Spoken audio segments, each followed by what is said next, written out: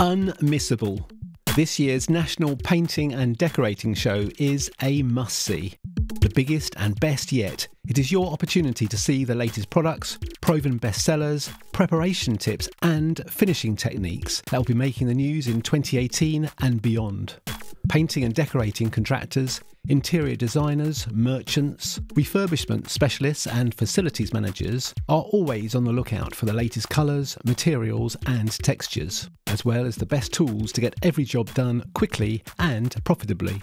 And it's a great day out. It really is an action packed two days buzzing with new product launches, practical demonstrations, fantastic show only deals, free samples, hands on trials, fun competitions, raffles and prize draws, sporting challenges, and celebrity appearances. Big discounts will be available.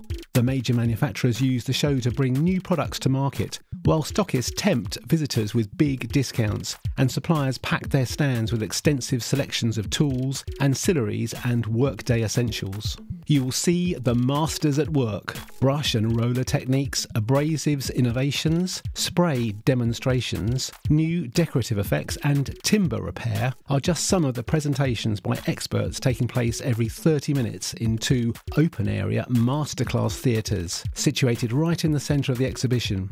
Check out the daily programme in your free show guide.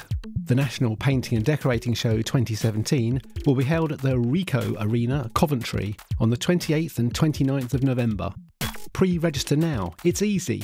You can pre register today for free tickets at www.paintshow.co.uk. This product news item podcast has been produced in association with the BusinessNet Explorer product news and information channel. The full story for the item can be found using the search facility at www.businessnetexplorer.com. Just type the brand you are looking for into the search, then click on their logo to reach their profile page. This includes links to all of their latest product news items published in BNE Product News.